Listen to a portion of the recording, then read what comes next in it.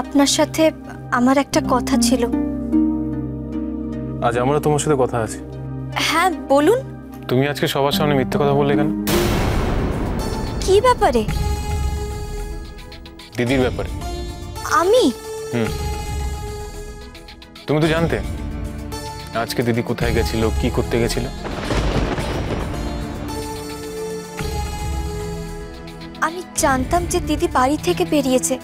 কিন্তু যে চকলেট কিনতে গেছে সেটা আমি জানতাম না। তাহলে সেটা বলতে পারতে।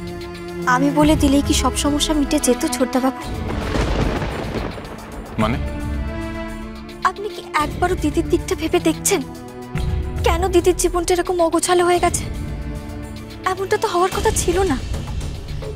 দিদির মনে এরকম অনেক অনেক অসম্পূর্ণ স্বাদ থেকে গেছে। তাই দিদি এরকম সারাক্ষণ অস্থির অস্থির কর। কে আপন কে পর? সোম থেকে রবি প্রতিদিন দুপুর একটা থেকে দুটো। স্টার জলসায়।